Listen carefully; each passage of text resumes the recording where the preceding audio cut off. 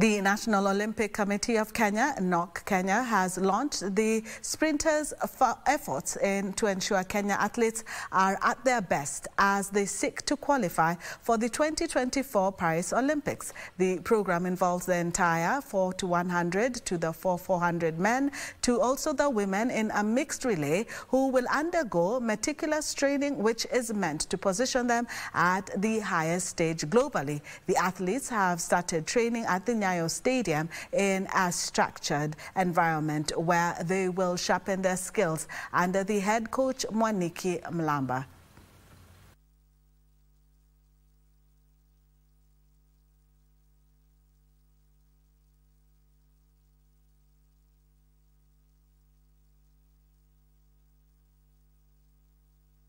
as I'm going through my life in athletics. Um, to all the all athletes who are in this camp, I can see from their faces, their reactions, they feel so happy, and it's a great thing. And I encourage the no the committee to continue with that support. It's a pleasure. For me, it's just to take the heart of 40 million with me, be confident enough, and just put my country where the name uh, to put the name of my country at the top. Ngoja, wait. Official gani?